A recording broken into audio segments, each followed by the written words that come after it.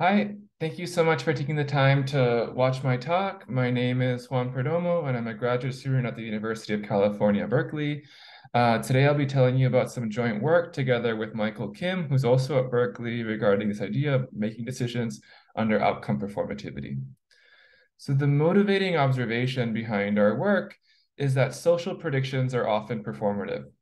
So social predictions, what I mean by that are predictions about people, and they're performative in the sense that these predictions don't just forecast the future, but they can actively shape what data we observe um, and how outcomes will manifest.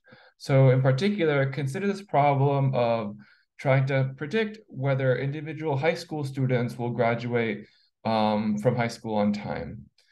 So these predictions are performative and can actually impact the outcome that is being predicted on time graduation because the predictions are used to inform school decisions as to which students will receive an intervention and are likely to receive attention from school counselors and the such, and can, and can hence impact the likelihood that individual students will graduate from high school on time. Um, so the observation that I'd like to point out here is that given that predictions are actively shaping the data that we observe, what should the goals of prediction even be?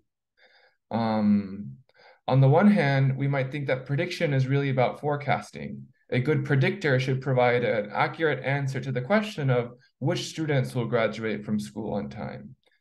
On the other hand, we might think that given that predictions are impacting the outcome that we care about, um, maybe we should dispel this idea that predictions are about forecasting at all. We should think about predictions are maybe just a, the goal of a predictor is to steer the data distribution towards a more desirable target value. Say, find me a predictor which induces more graduates. Um, and the thing I'd like to kind of summarize is that the right objective is often ambiguous. Right? This ambiguity is something that's here to stay. It's not it's not clear that it can be resolved a priori, and it's something that's inherent to these prediction, social prediction problems that have what I call these performative effects. So the question that we seek to answer in this paper is, what should we do about it? So our contribution is that we design learning algorithms and solution concepts that embrace this ambiguity in performative prediction. In particular, we find algorithms which achieve this notion of performative omni-prediction. These are simple predictive models that are optimal for a wide variety of different contrasting, uh, contradictory objectives um, and satisfy this uh, notion of optimality even when predictions are performative. So we'll spend the rest of the talk kind of delving into this definition and providing some background uh, and talking about the le different learning algorithms that achieve this. So before doing that, I'd like to pause to provide a bit of an intellectual history behind this project. So our work sits at the intersection of two different, um, very exciting recent lines of work. So one is this idea of performative prediction. And performative prediction is a uh, line of work that I've been involved with that formalizes this causal impact of prediction. So it's it it's a way of formalizing this idea that predictions can actually impact the data that is being observed. And the second line of work is um, even more recent is the idea of omni-predictors, which has roots in the algorithmic fairness literature and connections to multi-calibration and outcome distinguishability. And it's a really exciting line of work that provides new perspectives and tools for supervised learning. Um, if you find the ideas in this talk interesting, I hope you'll go and delve into some of the references that I've listed here that outline some of the major results in these areas. Um, so today I'll talk about how using ideas from these two different um, research directions, we can try to provide an answer to this notion, this, this question of how do we address ambiguity uh, of the goals of prediction in performative settings. So the talk will be structured in three parts roughly. So I'll start by discussing this idea of outcome performativity and provide some background on performative prediction. Then I'll provide an overview of the solution of concept performative omni prediction. And at the end, I'll talk about algorithms of how do we actually achieve this solution concept. So starting with the background on performative prediction, um, start by discussing what I call the outcome performativity thesis. So like in this education example that I discussed previously, I want to formalize this idea that predictions can actively shape data distributions. So in outcome performativity, we imagine the following data generating process where we sample features X, say student information, student demographic, demographic information, and this is sampled from a static distribution D. On the basis of these features, we then make a prediction Y prime according to some decision rule at H. Uh, after having made a prediction, we then observe some future outcome Y star. And here, for simplicity, I've described simplicity, I've described this outcome variable Y star as being a Bernoulli random variable. The thing I'd like to highlight is that the conditional distribution of this Bernoulli random variable is depends on the prediction itself. It depends on Y prime and not just X. So think about P star of X and Y prime as a number in, in zero, one. Um, so throughout the rest of the talk, I'll make use of this shorthand notation. So I'll say that X and Y star are sampled from the distribution of H, uh, D of H, um, and shorthand for this um, data generating procedure. And then I'll say that P star, P star is generally refers to a function from features and predictions to the unit interval. So this is like the parameter of the Bernoulli distribution. Um, so given this setup, um, so I should mention that outcome performativity is a special case of performative prediction. So here, only the outcome is being influenced by the choice of prediction, but in general, the decision rule H can impact the joint distribution over features and outcomes. So in, in full generality, in performativity, we allow for the marginal distribution over X to also change, but we're ruling that out in this case. Um, so with this in mind, I'll talk a little bit more about the framework and um, so in, in performative prediction, much like in supervised learning, where the value of a prediction rule is measured by the expected value of that prediction rule as measured by some loss function over a fixed distribution D, because predictions can impact the data distribution and each decision rule H can induce a particular a distinct distribution over pairs XY, in performative prediction, we measure the value of a prediction rule according to its performative risk, which is the natural extension. So in particular, the performative risk of a decision rule H on a particular loss function here loss is the expected value of this loss function over the distribution DH that the decision rule H induces. Um, analogously, we say that a decision rule H star is performatively optimal if it minimizes this quantity with regards to some set capital H of decision rules. Good.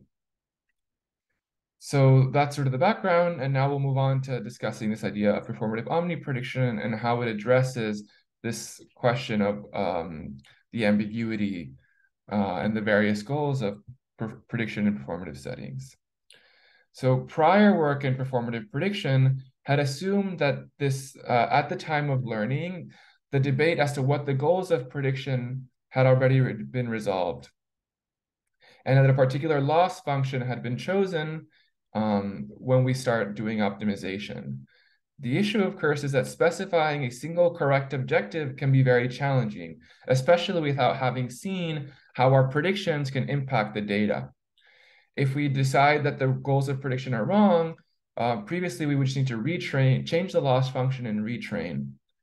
And it's not like we can pick just one loss function that accurately captures the whole spectrum of possible objectives, right? Different objectives, say uh, steering towards one objective or uh, one target or forecasting can have very different decision rules. So the performatively optimal decision for one loss um, function can be very different from the performatively optimal decision rule for a different loss function. So the solution we think we propose in this work is to avoid choosing one loss function at all. Instead, we're going to learn a single model that given a loss, we can easily modify so that it is optimal for that loss, even if these predictions are performative. So this notion of one model that's optimal for many different objectives that can be tweaked to be optimal for many different objectives is known as omni prediction, something that was introduced in the supervised learning world by Gopalan, Kalai, Reingold, Sharan, and Wieder uh, at ITCS last year. So in particular, an omni predictor is a regression function P in, in the supervised learning case. It's a regression function P which maps features X to the unit interval. Here I'm thinking about the case where outcomes are binary. And it's defined in terms of three parameters, a set of loss function L, set of loss functions L, a set of decision rules H, and an approximation parameter. And the key property of an omni predictor is that for every loss function in L, there exists a simple function, a post-processing of the loss and the predictor P, such that the post-processing approximately minimizes the expected loss uh, up to some small approximation parameter. So the thing I want to highlight in this definition is that um, this idea of a post-processing is the key, maybe the key innovation of omni prediction. It says that if you give me a loss, I can tweak my predictor P, I can modify it so that it makes predictions which are approximately optimal for that loss. And because we're in the supervised learning case, here the expectation is taken with respect to a fixed distribution D. So in our work, we take this definition, we, which had uh, been previously proposed for supervised learning, and we extend it to the more challenging case where the prediction rule itself can change the data distribution. So now we're thinking about performative prediction. Uh, and the definition is very similar, um, except that the regression function P now takes not just a feature X, it also takes a prediction Y prime, and again mapped it to the unit interval. And it is an LH epsilon performative omni predictor. Again, if for every loss function in the set capital L, there exists a simple function, this post-processing, such that the performative risk of the post-processing is approximately optimal. So it approximately minimizes the performative risk with regard to some baseline set of comparators, uh, capital H. Um, and here I'm restating the definition of the performative risk and highlighting how um, performativity comes in because the, the decision rule H is impacting this data distribution, right? And we're saying that the omni predictor um, is still optimum, even under, even if it changes the data. So even in supervised learning, it's not obvious that this this definition can be even can be achieved. Um, and Gopalan et al prove that such a thing exists by establishing a connection to multi-calibration. Um, in our work, we show how these omni predictors exist in the performative setting. And in fact, they're not much harder to achieve than in the supervised learning case. So given that this is sort of a new definition that many of you, I'm guessing, may not be aware of, I'll like to spend some time kind of contextualizing it and saying, and trying to provide some background how I think that this definition addresses this uh, overarching question of having to deal with many contradictory objectives in supervi- uh, in performative prediction and the distinction between steering and forecasting. So an omni predictor, in short, is one predictor that is simultaneously optimal for a large number of loss functions and it's optimal in a per loss function sense. And in the definition, the set of losses capital L, there needs to, there's no relationship between these different losses. These losses can be completely arbitrary. Um, they can encode things like steering, they can encode forecasting, they can steer towards different targets, different loss functions steer toward different targets. They don't need to be related in any way. So in short, they can encode contradictory goals. Um, so omni prediction is really a way of achieving flexibility. It says, I'm going to front load all the learning and sort of encode all the things I could possibly learn, um, given this menu of different loss functions that I want to be optimal with respect to. And then at some point later in the future, I can do this post-processing and have the guarantee that the post-processing of my omni predictor is approximately optimal for that loss. Um, so in particular, if we learn that uh, performative effects uh, shape a data distribution in a one way, and that changes what we think the goals of prediction should be, we can simply modify the omni predictor so that it optim uh, outputs predictions that are optimal for a different loss function. Uh, we don't need to retrain. So I spent some time saying what omni prediction is. I'd also like to spend some time saying what omni prediction is not. It is not a robust optimization objective. It is not solving a min-max problem. Uh, in particular for this, if different loss functions can encode very contradictory objectives, then the optimal min-max solution might be to just split the difference. And we end up with predictors that don't, op don't output very interesting predictions. So in particular, these robust optimization objectives can be very weak if losses uh, encode very different objectives. So as I mentioned previously, the key innovation behind omni prediction is this idea of a post-processing. So I'd like to spend a little bit of time making that more concrete. Uh, and to do so, I'd like to talk about maybe the simplest setting and what about what how and illustrate how this um, post-processing might look like. So in particular, in supervised learning, if the outcome variable y is a Bernoulli random variable with parameter p of x, um, what is the post-processing? So maybe you'd like to pause the video at this point and take a second to stare at it. But for something like the squared loss, if I know this function p, right? So the post-processing is done on the basis, it knows what the loss function is. It also knows what the parameter p is. For the squared loss, the optimal post-processing is just the identity, right? It's just the conditional mean. Um, and abstracting away from this particular example, the observation I'd like to make is that in supervised learning, if the regression p function p star is the truth, in the sense that y star is a Bernoulli random variable with parameter p star of x for every x, then p star is an omni predictor for every set of loss functions L and set of rules H and uh, tolerance parameter epsilon. Because this post-processing, where we just compute the pointwise minimizer of the conditional expectation, it's the pointwise minimizer, right? So then it will be optimal no matter um, what the distribution on X is or what the set of decision rules in H are. And this same idea holds in performative prediction.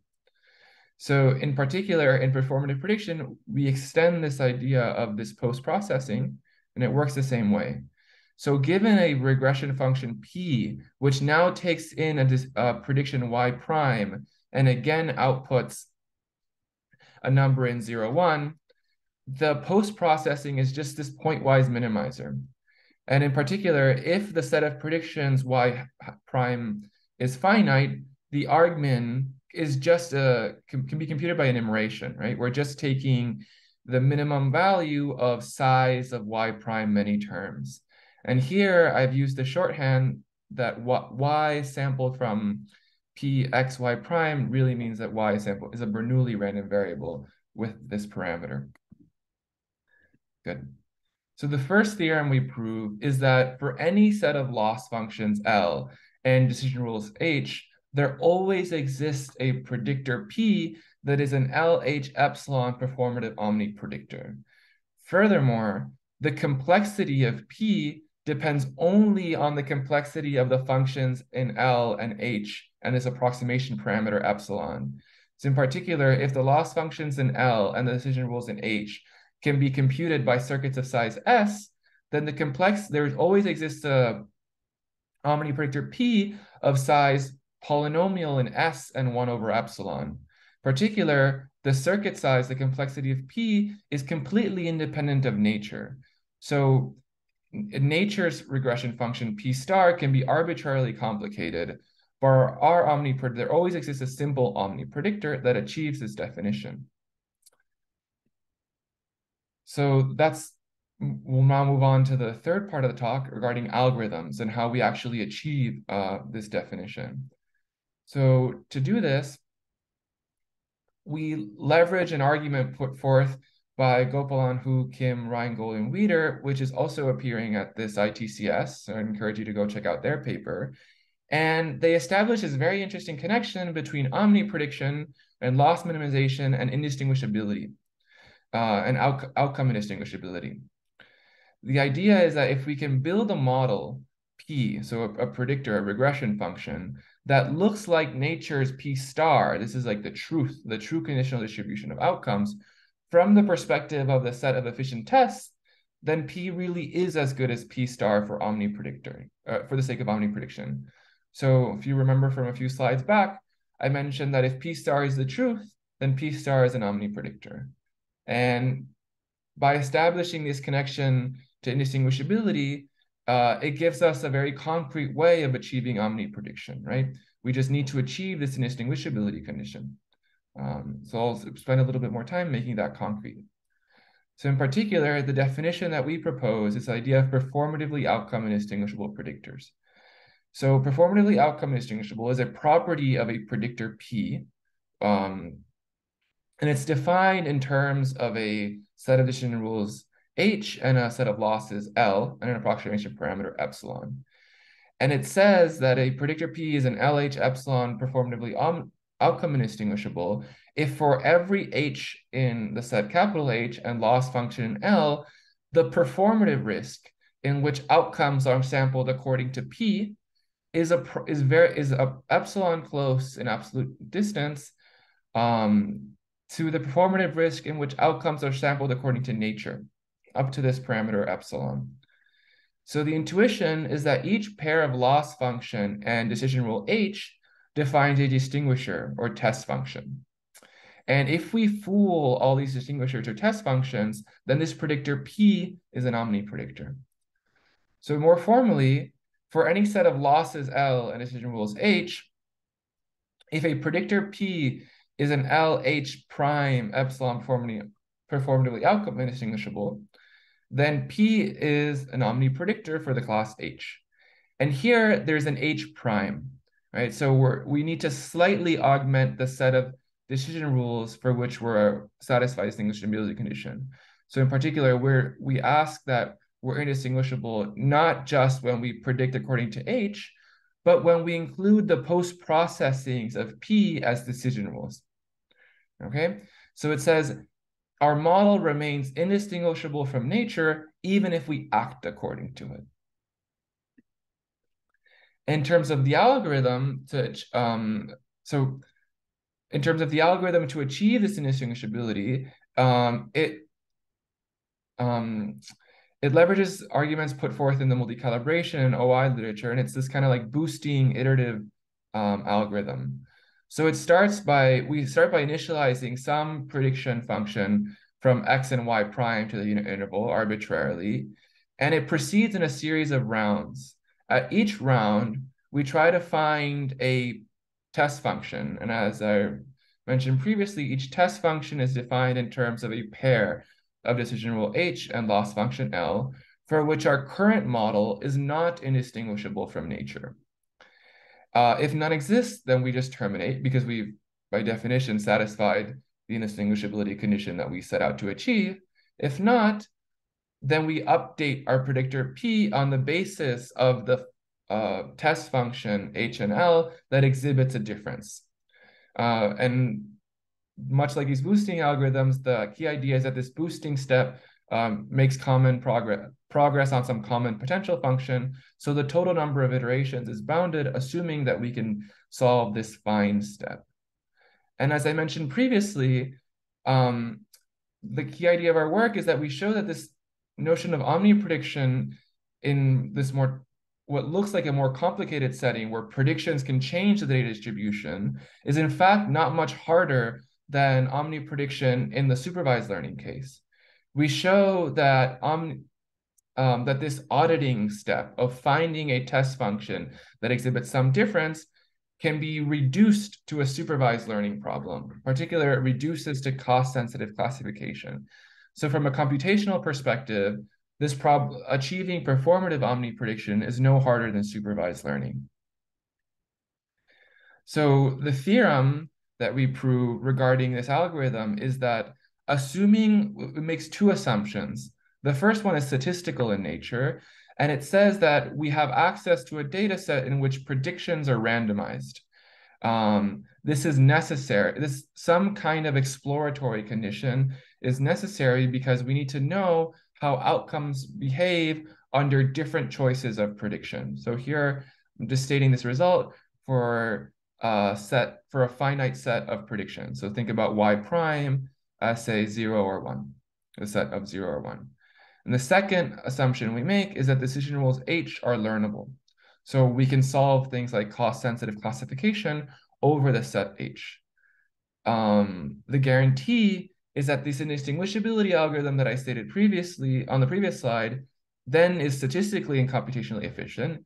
It returns a predictor P, which is out, uh, performatively outcome indistinguishable, using only polynomially many samples and all the relevant problem parameters and um, only in only polynomially many iterations. Good. So with that, I'd like to sort of, um, yeah, the, the key takeaway is that omni prediction and performative prediction ends up being not much harder than in supervised learning. So summing up, we started with this observation that social predictions are performative and can don't just forecast the future, they can actively shape it. And performativity means that accuracy is not the only goal. There's this, there's this high level distinction between forecasting and steering and this inherent ambiguity as to what the goals of prediction should be. And in this paper or in this work, we provide one way of addressing this distinction uh, by leveraging this con concept of omni-prediction. And in a sense, omni-prediction provides flexibility to choose optimal decision rules from a menu, but it doesn't really tell us which objective to pick. So this problem of discerning which loss function to choose is something that uh, I think very much remains open, and I hope uh, some of you might be inspired to work on in the future.